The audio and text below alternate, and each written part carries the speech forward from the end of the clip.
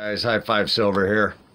Uh, a little update video on the ceramic coating for the uh, crucibles that uh, ended up, uh, I mean, it was okay. It, uh, it uh, saved the outside for quite a while, but the inside, inside still deteriorated on me.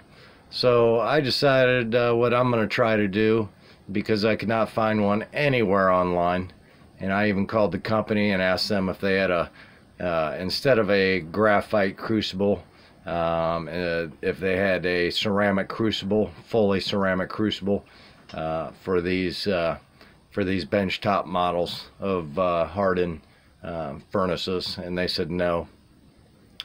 So I did some research and got online started looking around and I came up with this uh, from what I've found the best um, ceramic, pourable ceramic mix. Uh, it ends up being this stuff right here. It's good to 4,000 degrees. So I'm gonna mix some up. I made a mold, a rubber mold, out of this crucible right here. And uh, I made my mold, cut it open, and uh, got it back together. And I poured in the ceramic mix just did that a little bit ago. Let's see what it looks like here when it's all mixed up. Kind of like cement or so. Maybe some runny cement.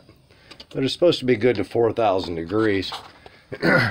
Rather than buying these about every 15 to 20 pours, which pisses me off because you know they're like 30 to 40 bucks a piece.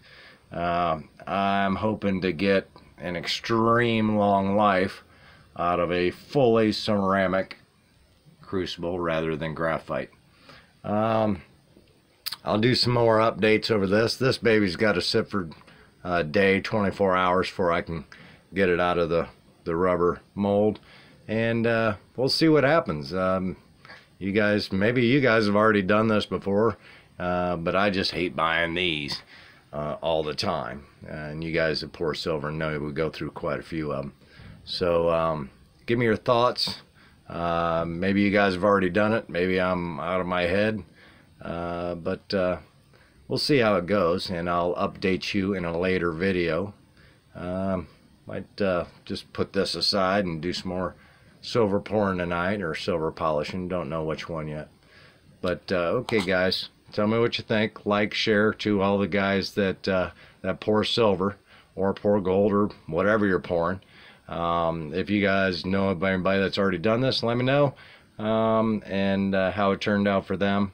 If not, I will let you know how mine turns out. So we'll talk to you guys later. Thanks for watching.